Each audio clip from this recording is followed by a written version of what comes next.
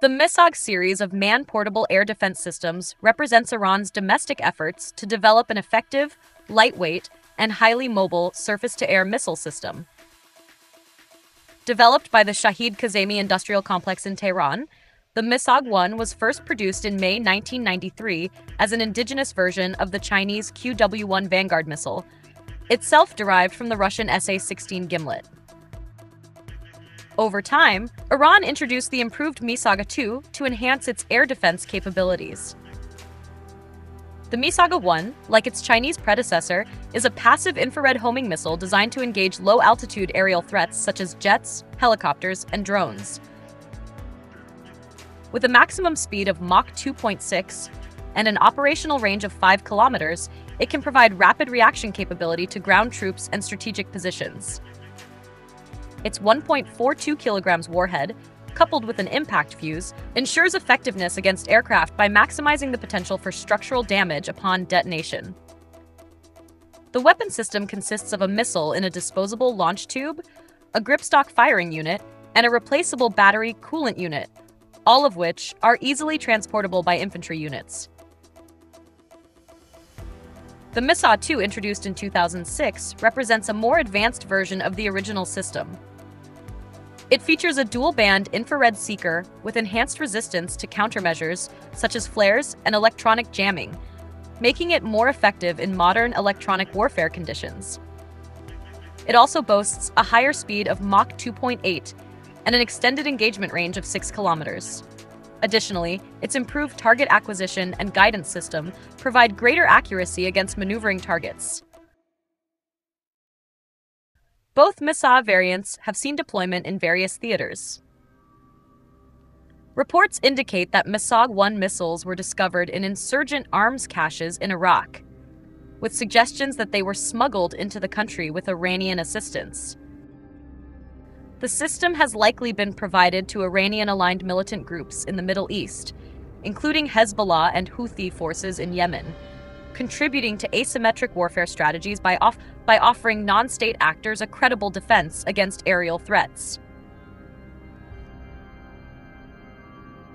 Iran's use of the Misagh missile family aligns with its broader military doctrine, which emphasizes self sufficiency in weapons development, asymmetric warfare, and strategic deterrence. By producing indigenous manpads, Iran reduces reliance on foreign suppliers and bolsters its ability to equip both its own forces and allied militias with effective air defense systems.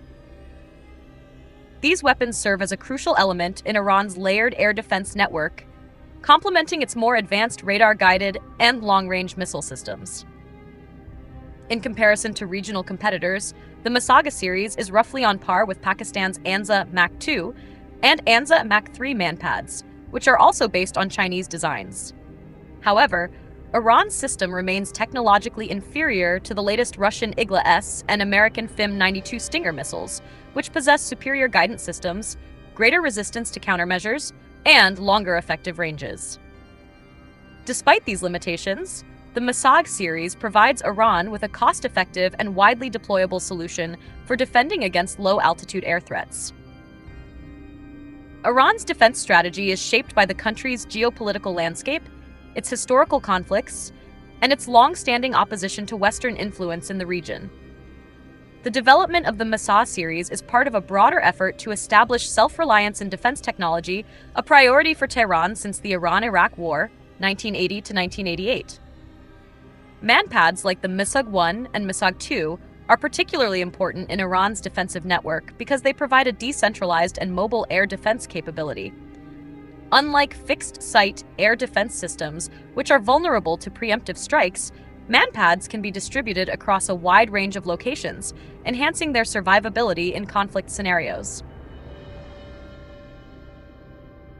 Furthermore, Iran's emphasis on asymmetric warfare has led to the strategic dissemination of the Misagh series among proxy forces across the Middle East. By supplying groups such as Hezbollah, Hamas, and the Houthis with these manpads, Iran seeks to impose a greater cost on adversaries conducting aerial operations in contested zones. This distribution aligns with Iran's broader military policy of using non state actors to challenge superior military forces indirectly. While the Misagh series is fundamentally based on older Chinese technology, Iran has made incremental improvements to enhance their effectiveness. The Misagh 2's dual band infrared seeker improves its ability to track and engage targets under adverse conditions, making it more resistant to flares and infrared jamming. Additionally, its slightly extended range allows Iranian forces to cover larger areas with fewer missile systems. Iran is also rumored to be working on further advancements in manpads technology, potentially developing a Misagh 3 or equivalent system with greater resistance to countermeasures and improved engagement capabilities. A key area of focus appears to be software enhancements to the guidance system, allowing for better discrimination between intended targets and decoys. Another possibility is the integration of improved propulsion systems to extend the range and speed of future models. The presence of Misagh manpads in regional conflicts has raised concerns among Western military analysts. The discovery of Misagh 1 missiles in Iraq, reportedly supplied to insurgent forces, demonstrated Iran's willingness to arm non state actors with advanced air defense capabilities. Similarly, the supply of these systems to Hezbollah and Houthi fighters has provided these groups with a credible deterrent against aerial attacks by Israeli and Saudi forces, respectively. In the Syrian civil war, reports indicate that Iranian supplied manpads, including the Misagh 2, have been used against opposition forces and, in some cases, against coalition aircraft. The proliferation of these weapons poses a challenge for modern air forces operating in the region, as even a limited number of manpads can significantly impact the effectiveness of air superiority operations.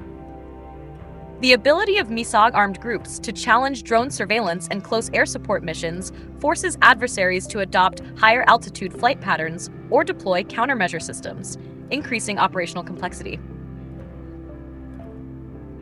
As the Misagh series continues to be distributed among Iranian allies and military forces, countermeasures are evolving in response modern air forces have developed improved counter manpads technology, such as directional infrared countermeasures, DIRCM, and flare dispensers, to reduce the threat posed by infrared guided missiles. Additionally, intelligence operations aimed at intercepting weapon shipments have sought to limit the proliferation of Iranian manpads in conflict zones. Nevertheless, the increasing sophistication of manpads means that even older models like the Misagh 1 remain relevant. Their simplicity, ease of use, and relatively low cost make them a persistent threat to both military and civilian aviation in contested regions. Looking ahead, Iran's continued investment in indigenous missile development suggests that more advanced versions of the Misagh system could emerge, further complicating air defense strategies in the Middle East. The Misagh air defense system plays a significant role in Iran's strategy of countering aerial threats through indigenous production and strategic distribution.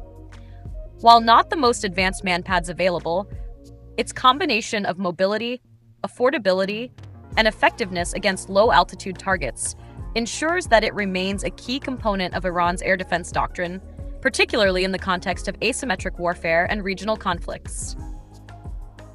Iran's ability to improve upon existing designs and distribute these systems to allied forces underscores its commitment to sustaining a robust and adaptable air defense capability, reinforcing its influence in the region's ongoing security dynamics.